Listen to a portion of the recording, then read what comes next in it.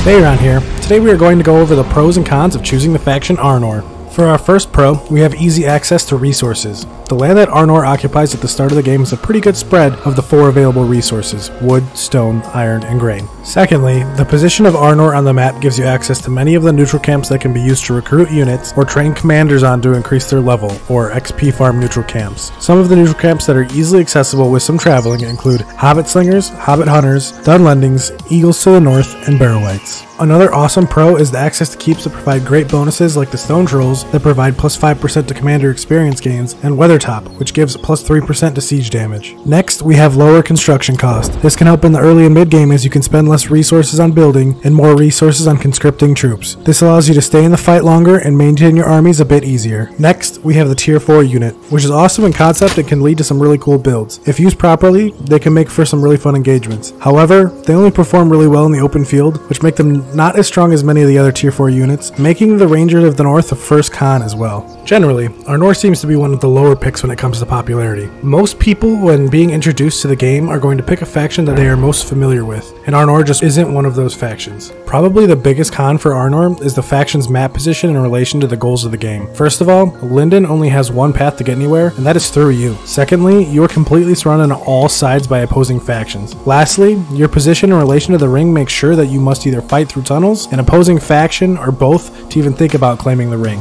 All of this actually leads into a bonus point that I want to make. Arnor is a challenge suited for a good group of people who have been playing together for a few seasons. You need to be able to balance politics, alliances, war, resource gathering, and leveling while being surrounded by so many factions that can put a damper on those plans rather quickly. Arnor is not for the faint of heart.